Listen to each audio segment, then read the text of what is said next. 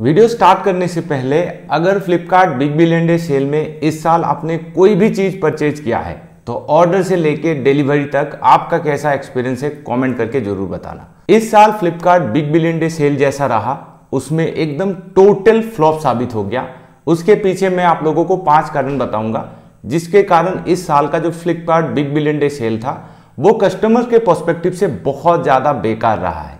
हालाँकि फ्लिपकार्ट ने बहुत ज़्यादा प्रॉफिट कमा लिया, वो अलग बात है।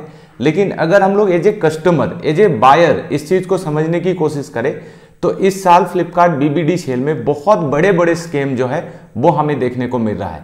मुझे इंस्टाग्राम पे साथ ही साथ यूट्यूब कमेंट सेक्शन में भर भर के कमेंट आ रहा है भर भर के यहाँ पे डीएम आ रहा है। बहुत लोगों के साथ डिफरेंट डिफरेंट स्केम हो रहा है। आज इस वीडियो में मैं आप लोगों को टोटल पाँच स्केम बताऊँगा। जो कि इस साल फ्लिपकार्ट बीबीडी सेल में ओपनली किया गया है और जो कि आपको जानना बहुत ज़रूरी है। सबसे पहला नंबर का स्केम जनरली जब सेल स्टार्ट हो जाता है, तब देखा जाता है कि प्राइस जो है, वो जैसा कहा जाता है, वैसा ही रहता है। इस साल भी ऐसा ही हुआ। दूसरे साल में हमें देखने को मिलता था कि जो लोएस्ट प्राइस आता था, वो जो ले पाता था, वो ले पाता था। जो लोग नहीं ले पाता था, वो लोग हो सकता है पाँच मिनट छः मिनट के बाद जैसे ही सर्वर नॉर्मल हो जाता उसके बाद ऑर्डर कर लेता है।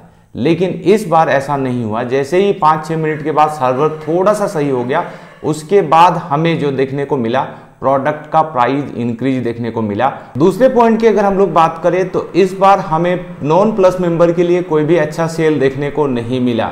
यहाँ पे फ्लिपकार्ट पे बहुत सारे लोग प्लस मेंबर है, लेकिन ये भी फ्लिपकार्ट को सोचना चाहिए था कि बहुत सारे जो लोग हैं, वो नॉन प्लस मेंबर भी है।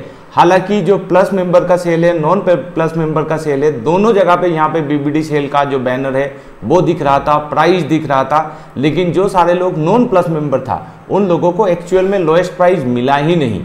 ज़्यादातर यहाँ पे पाँच छः हज़ार प्राइस बढ़ गया हर एक प्रोडक्ट का, जब यहाँ पे नॉन प्लस मेंबर का सेल आया। और अगर आप भी नॉन प्लस मेंबर हो तो मुझे कमेंट करके बताना कौन सा प्रोडक्ट आपने खरीदा है। और जब वो प्लस मेंबर का सेल में था, क्या उसी प्राइस में आपको मिला है कि नहीं मिला है? थर्ड सबसे ज़्यादा इस बार जो दिक्कत हुआ, मैंने भी बहुत सारे प्रोडक्ट इस बार ऑर्डर किया है, लेकिन जनरल डे में जब रिटर्न की बारी आती थी, तब रिटर्न बहुत हैसेल फ्री हो जाता था। लेकिन सेल के समय पे जो भी मैंने परचेज किया है उसको मैंने रिटर्न डाल दिया रिटर्न एक्सेप्ट भी हो गया, तुरंत नेक्स्ट डे रिटर्न कैंसिल हो गया। फिर से मैंने रिटर्न में डाला, फिर से कैंसिल हो गया। कंफर्म भी अगर हो गया कि रिटर्न लेने आ जाएगा या तो पिकअप का आज डे शेड्यूल हो गया, उस दिन को यहाँ पे डिलीवरी बॉय या तो कुरियर बॉय नहीं आ रहा था रिटर्न लेने के लिए। तो रिटर्न में बहुत ज़्यादा इस बार झमेला देखने को मिला। अब यहाँ पे बहुत सारे लोग ये भी कहेंगे कि इस बार जो था वो लोड बहुत ज़्यादा पड़ गया। बहुत सारे कस्टमर ने इस बार ऑर्डर किया। फ्लिपकार्ट को सारी चीज़ पता था। अगर आपका चद्दर पाँच फुट का होगा, तब आपको पैर भी पाँच फुट ही फैलाना पड़ेगा। अगर आपने सेल रख दिया 100 करोड़ लोगों के लिए तो आपको उस हिसाब से अपना सिस्टम को भी सही करना पड़ेगा, अपने कुरियर सर्विस को भी सही करना पड़ेगा, तब जाके ये सेल जस्टिफाई होगा। फोर्थ पॉइंट की अगर मैं बात करूँ तो एक्सचेंज इस बार एक्सचेंज के नाम पे बहुत सारे लोगों को बेवकूफ़ बनाया गया। मैंने यहाँ पे टोटल चार फ़ोन बाय किया है, इस बार फ्लिपकार्ट बीबीडी सेल में। तीन फ़ोन जो कि एक्सचेंज पे नहीं था नॉर्मल यहाँ पे मैं क्रेडिट कार्ड से ऑर्डर किया था। वो दो से या तीन दिन में ही डिलीवर्ड हो गया। लेकिन एक्सचेंज वाला फ़ोन अभी तक मेरा रुका हुआ है और ये वाला जो फ़ोन है, वो मैं एक्सचेंज करने वाला हूँ इस बार। जो एक्सचेंज वाला फ़ोन लगभग आज आठ दिन हो गया, लेकिन अभी भी वो फ़ोन डिलीवर्ड नहीं हुआ है। बहुत सारे लोगों का यहाँ पे दिक्कत इस बात पे भी आ रहा था कि एक्सचेंज का जो प्राइस फ्लिपकार्ट ने शो किया बाद में जब यहाँ पे कुरियर सर्विस बॉय आए, तब उतना वैल्यू उसको नहीं मिला। और बहुत लोगों का प्रोडक्ट में एक भी स्क्रैच नहीं था। प्रोडक्ट एकदम नया जैसा था। फिर भी उन्हें जो प्रोडक्ट यहाँ पे फ्लिपकार्ट ऑफ़र किया था, वो प्रोडक्ट का प्राइस नहीं मिला। उससे एक हज़ार, डेढ़ हज़ार रुपया हर किसी का यहाँ पे प्रोडक्ट का जो प्राइस था, वो कम हो गया। पाँच नंबर पॉइंट जो मुझे ज़्यादा यहाँ पे फील कराया, और बहुत सारे लोग आप एग्री भी करोगे इस पॉइंट पे इस बार फ्लिपकार्ट ने बहुत सारे नए नए कुरियर बॉय को इंट्रोड्यूस किया गया है।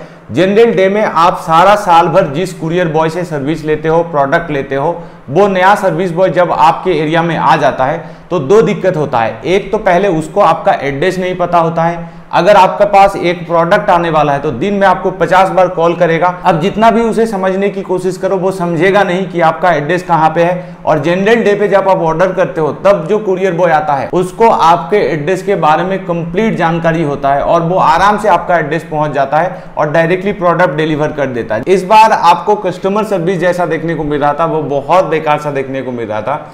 आपके साथ चाहे फ्रॉड हो गया, चाहे कुछ भी हो गया, आपको खराब प्रोडक्ट मिला, कुछ भी हो गया किसी भी सर्कमटेंसेस में यहाँ पे आप कस्टमर केयर को कॉल नहीं लगा पा रहे थे और हर बार यहाँ पे कस्टमर सर्विस से आपको टेक्स्ट ही मिल रहा था। मतलब आप एक बोर्ड से ही चार्ट करो। कोई भी ह्यूमन बीइंग नहीं था जिसके साथ आप बात करके अपने प्रॉब्लम को सॉर्ट आउट कर पाओ।